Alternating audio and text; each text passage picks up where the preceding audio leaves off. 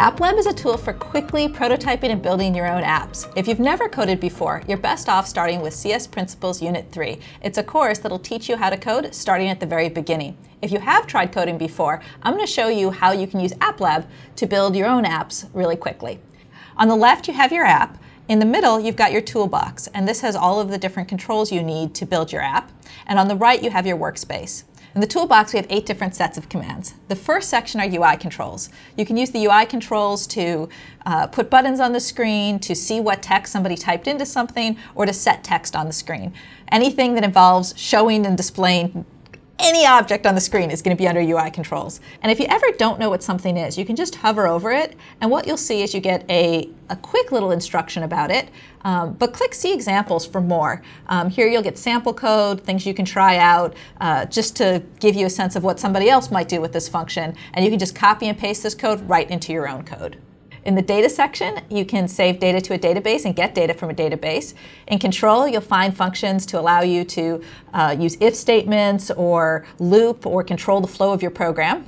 The variables will allow you to set variables or read variables. Um, it includes strings and uh, lists, which will allow you to create lists. Under Canvas, you'll find controls to let you put a canvas on the screen and draw different things into it, like circles, triangles, lines.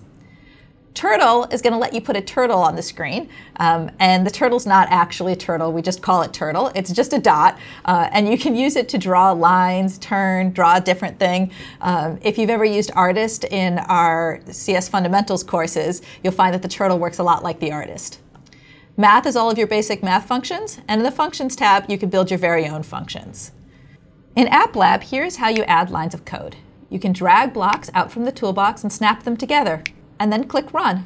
Or if you'd prefer, you can type the command yourself. Either way you write your code, you can always flip between block mode and text mode. In fact, you can work in text mode and drag blocks out to insert the text. If you want to practice typing code, that's awesome. If you make an error, use the blocks as a way to check the exact right way to enter something.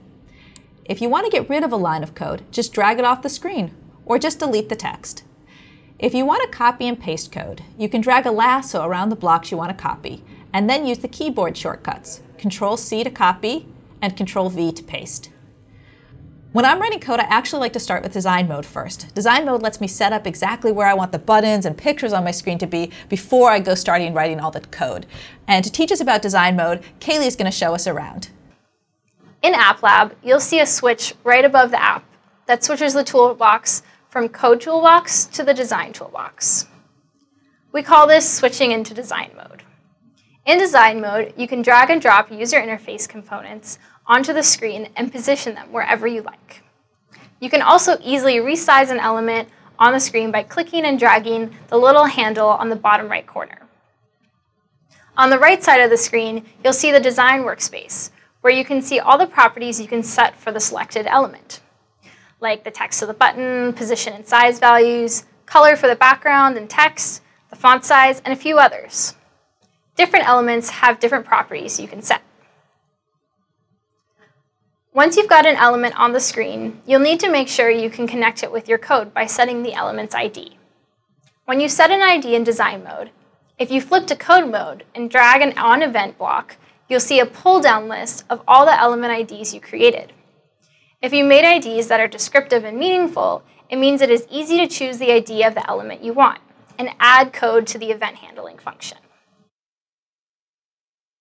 There's also a convenient way from design mode to insert an event handler in your code. In the design workspace, if you click on the events tab, you'll see one or more suggestions for typical events for this kind of element. You will see a link that says insert and show code. If you click it, it'll append an on event command to your code and set the ID of the element and event type for you. Whether you're adding an image element to your app or background images for buttons, you can enter the URL of the image you want to use. If the image is very large, you might need to set the width and height numbers so the resize handle fits in the window.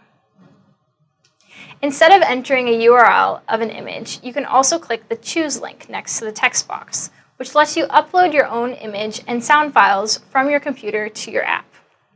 When you upload a file, it goes into a list of assets you've uploaded so far.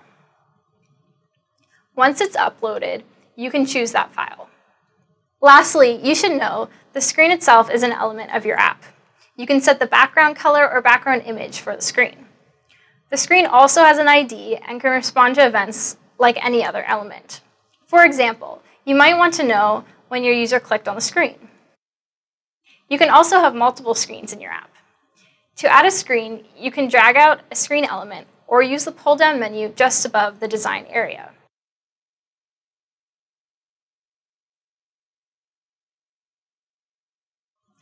Once you add a screen, give it a meaningful ID. You can use the pull-down menu to switch between screens in design mode. But how do you write code to control which screen to show?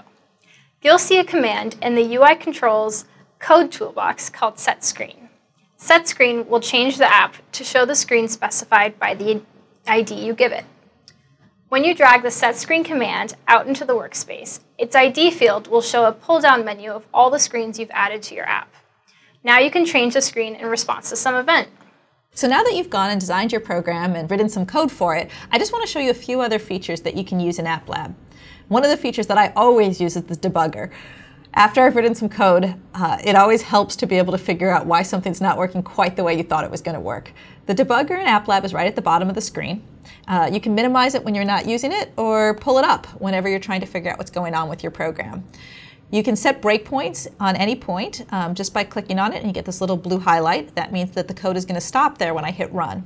So here I'm going to hit run and when I click on the pig, I can see that my breakpoint is now highlighted and down in my debugger I can see that I can hit continue to keep running. I can hit step over to step over this line and go on to the next line, step out or step in. There's also a debug console and in the debug console you can type any command um, and you can also type any variable name to see the value of that variable at this point in time. So right now if I type score I can see that the score in my program right now is 10.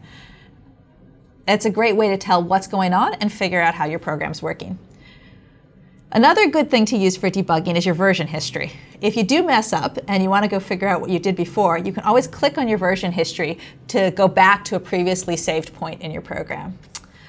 And when you're done, share your program with your friends. Click the share program to get a unique URL that you can send to your phone or to any of your friends. And when they use your app using that URL, all of the data will be shared in one database. So let's say you write a survey app to go ask how many of your friends like dogs and cats. Every single person's vote will be all tallied into one place and you'll be able to see all of their votes in your app. And we'd love to see what you made too. If you want to share it on Twitter or social media and tag code.org, we'd love to check out what you're making with AppLab. Thanks.